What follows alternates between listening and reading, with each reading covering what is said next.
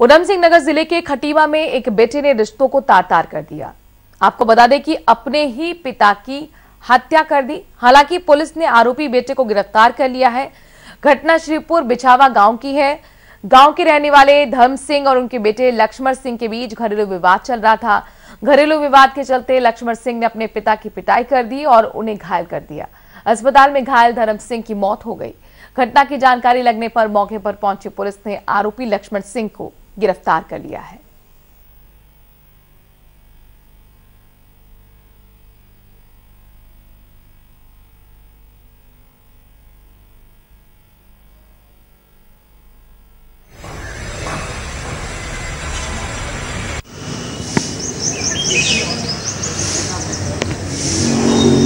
अंदर में